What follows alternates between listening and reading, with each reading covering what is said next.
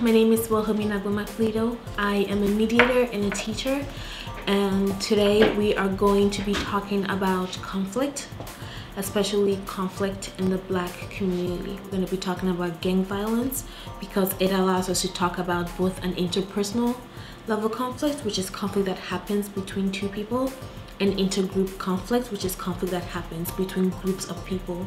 So, what is conflict? Conflict generally refers to some form of friction or disagreement between two people or groups of people.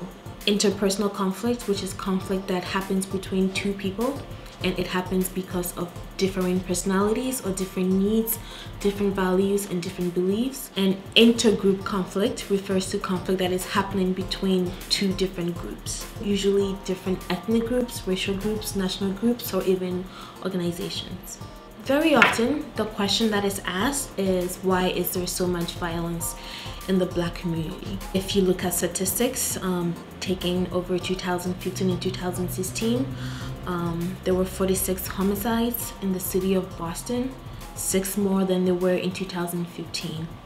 And most of these homicides are taking place in Dorchester, Roxbury, Mattapan, Mission Hill, parts of Jamaica Plain, and East Boston all of these areas have a large amount of black and Hispanic residents. The question to ask yourself is why do most black and brown young men join gangs? The Four main reasons that come out of all the research is that people join gangs for identity, people join gangs for protections, most youth join gangs to find a sense of community. The fourth reason why people join gangs is due to finances.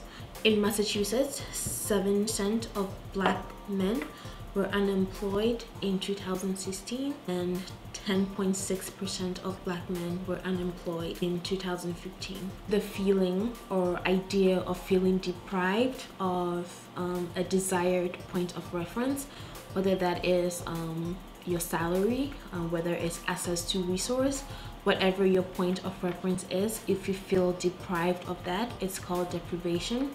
And the relativity comes into play when you judge your specific outcomes against another outcome. Feelings of relative deprivations only arise when legitimate expectations or desires are blocked by society. Being unemployed is relative deprivation because they judge themselves against the larger society, which is black, Asian, and other groups, and they see that they are not benefiting from the system as much as the other groups.